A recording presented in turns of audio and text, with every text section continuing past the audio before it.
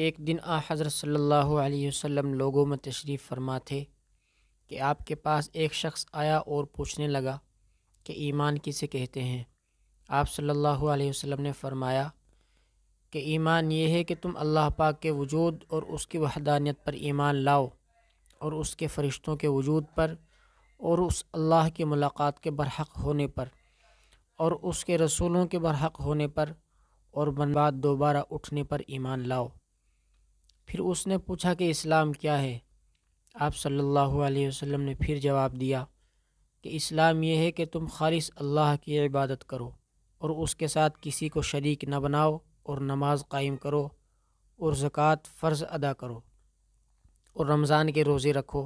फिर उसने एहसान के मुतालिक पूछा, आप सल्लल्लाहु अलैहि वसल्लम ने फरमाया, एहसान यह है कि तुम अल्लाह ताला की इबादत इस तरह करो, गोया तुम उसे देख रहे हो।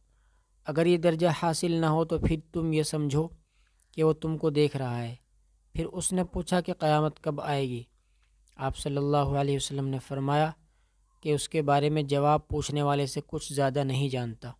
अलबत्त मैं तुम्हें उसकी निशानियाँ बतला सकता हूँ और वो ये हैं कि जब लोंडी अपने आका को जनेगी और जब स्याह ऊँटों के चराने वाले देहाती लोग तरक्की करते करते मकानात की तामीर में एक दूसरे से बाजी ले जाने की कोशिश करेंगे याद रखो, क़यामत का इल्म इन पाँच चीज़ों में है, जिनको अल्लाह के सिवा कोई नहीं जानता।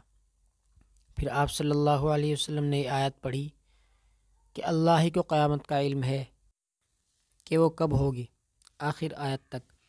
फिर वो पूछने वाला पीठ फेर कर जाने लगा। आपने फरमाया कि उसे वापस बुला कर लाओ। लोग दौड़ पड़े, मगर वो कहीं नज़र नहीं आया।